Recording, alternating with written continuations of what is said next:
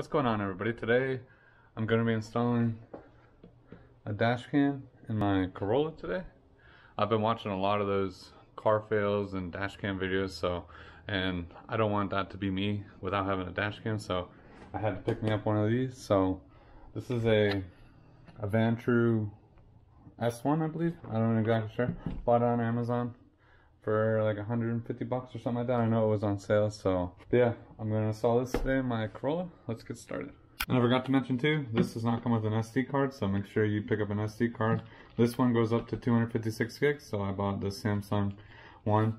Um, if you're looking for this, I'll be leaving links um, below for everything in here. So this will obviously be very universal for every single car, but today I'll be showing it to you on my Corolla.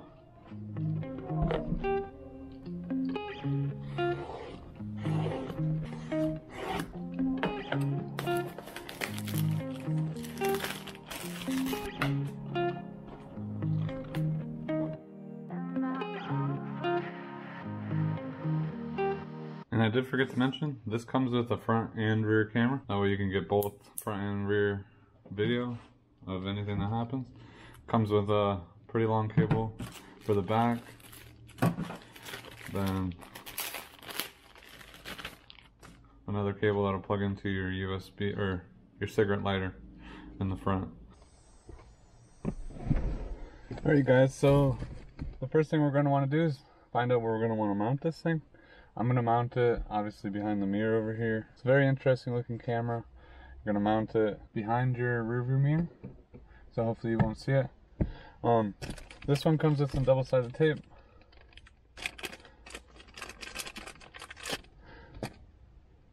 And I guess it comes with two of them just in case you need to move it or something. This will latch on so you can, once you have it taped on there, Alright, so just peel off this.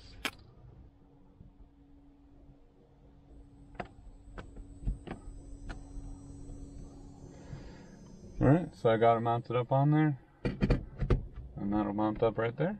I don't really see it much in my mirror. I don't know if I should have put it on the other side. I don't know if I should have put it up on the other side over here or here. I'm gonna leave it here for now. It doesn't seem like it's gonna bother me at all with my vision. So, alright, now we gotta run the cable. I'm gonna be running it and tucking it along alongside the passenger side. This should be long enough to pretty much run anywhere you want.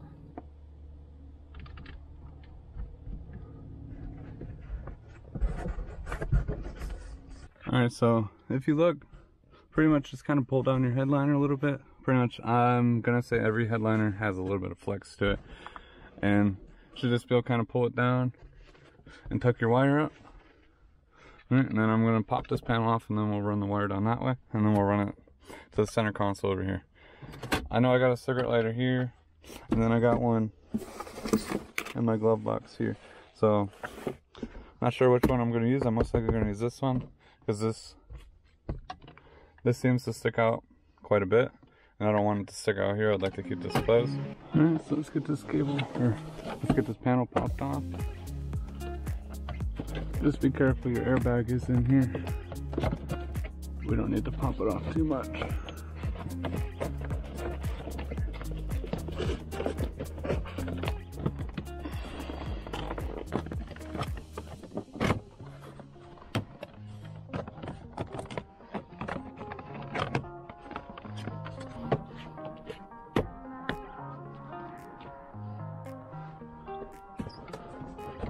Alright, so you don't see any wire up here. I'll just run it down. I wish this popped off.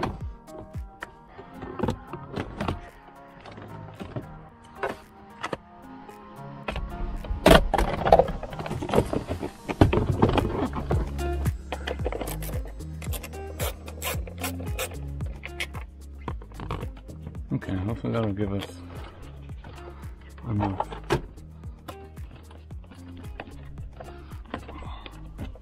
give you this trim tool, I don't know. It'll help at all. Alright. Alright, so now you don't see that wire hanging out at all. Got the trim all back. Let's put this 10 millimeter bolt back. Oh, this thing comes with an extra USB. Okay, nobody's ever mentioned that. Sorry, getting sidetracked. Okay, this panel will pop off. I do wish this was a detachable one. Maybe we should have ran this the opposite way. No matter what, we should be able to do it. And now, we're gonna have to take off the center console.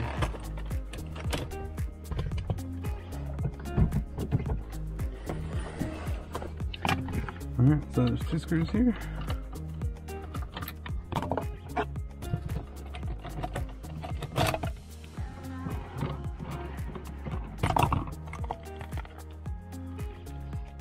Or if you have an automatic, it might be a little bit harder. But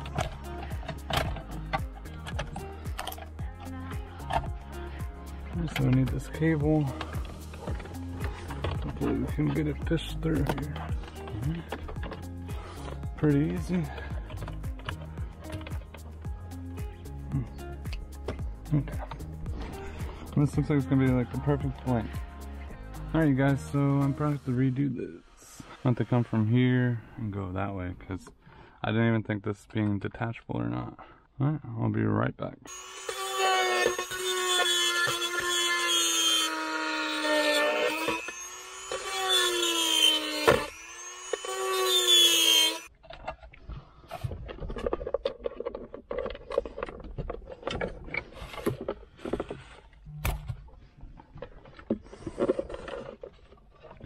Alright you guys, so I just want to give you an update where I'm at real quick. Um, so I did get it ran in here. As you saw in some of my video earlier, I dremeled out the hole a little bigger so I can run my cable through. Kept some slack over here. Made sure nothing was going to rub. Then I ran it along the other wires here. Ran it up into here.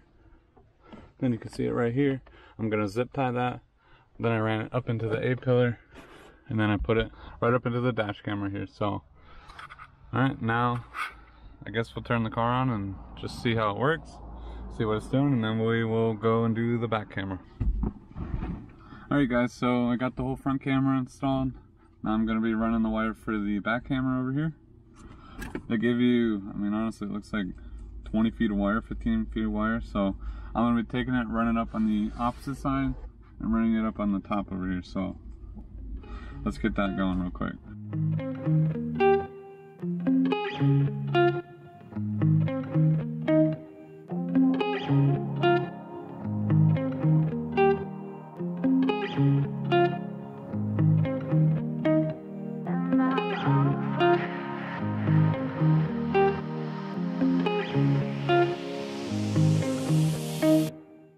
Alright guys, so I got the cable ran all the way to the back. Um, everything is looking pretty good. I'm about to tape it to the windshield, or the rear windshield. Um, it's one thing I did notice, and I didn't even pay attention, but I ran the wire on the driver's side, and the way to mount this camera, it's going to be on the passenger side, so it kind of has to make a hard bend. Um, kind of dumb. I didn't realize that until after I got all the way through here. So kind of keep that in mind then when you guys install this yourself if you do that it might be easier to install on the passenger side because the plug for that is on the on the passenger side so. But I guess I'm just gonna have to have a hard bend in it and hopefully and hopefully it'll look good. So let me tape this on there and then we'll go see how it looks. All right guys so I got everything all installed everything's hooked up. As you can see I hope you can see it pretty good. It's showing the rear one up there and then the front one right here. And I already set up all the time and date and everything. Something you should remember, make sure you rip off the, the tape in front of the lens. Yeah, rip off the tape. Alright guys, if you like the video, don't forget to subscribe to the channel. Hit that like button. And if you guys like this video or if you guys want to see anything more just like this, put your comment down below. Tell me what else you guys want to see me install. Because I'm willing to try anything on this Corolla. So Thank you guys so much for watching and I'll see you guys next time. Alright guys, and also I'm going to be showing you guys some clips of what it looks like on the car. Um, hopefully it looks good. You guys will be seeing it before I do. So here they are. Hopefully they look nice and crisp. I believe this camera shoots some 4K. If not, I know it's 1080p. and I believe it's 4K for the front and then 1080p for the back. So I know I didn't go over much of that at the beginning when I unboxed it or whatever, but and I went with this camera too because the Vantrue camera is a lot more of a name brand camera. There was a lot of other cameras out there that are way cheaper. Like I'm talking like 40, 50 bucks. I know this one was 150 I paid with like a discount on Amazon. Like I said, I'll link that below. But I went with this one. It has a longer warranty. Um, I've seen a lot of videos of these and the quality looks good. So hopefully that'll also be as good. So, all right. Well, hopefully you guys like them and I'll see you guys next time.